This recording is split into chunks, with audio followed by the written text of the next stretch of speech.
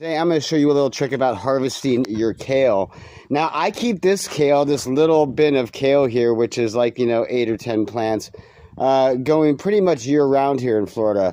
And the way that I do that is I like to harvest the bottom leaves first. So you'll see as I'm harvesting it, it kind of lifts it up off the soil. And this actually helps keep it away from the bugs and uh, keep it from degrading while it's on the soil. And as you can see back here, like I'll come back here and I'll harvest out some of these lower leaves here, you know, and clear those out.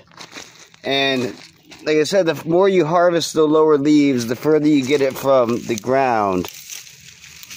So we'll just keep pruning it back, low, all the low stems.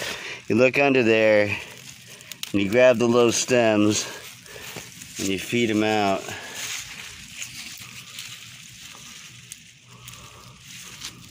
Let's see this one right here too. And we've got quite a bit of kale now harvested.